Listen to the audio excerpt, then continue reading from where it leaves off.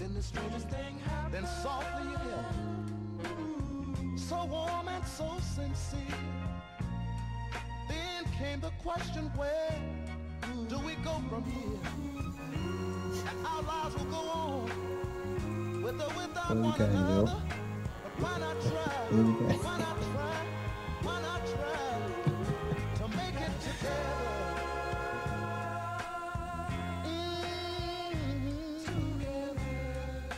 Not go on living I'm not in love's ghetto. holding close there. There's a world for us that we cannot ignore. I wanna help you get Just need a little hole to poke your head out. Headed straight for destitution.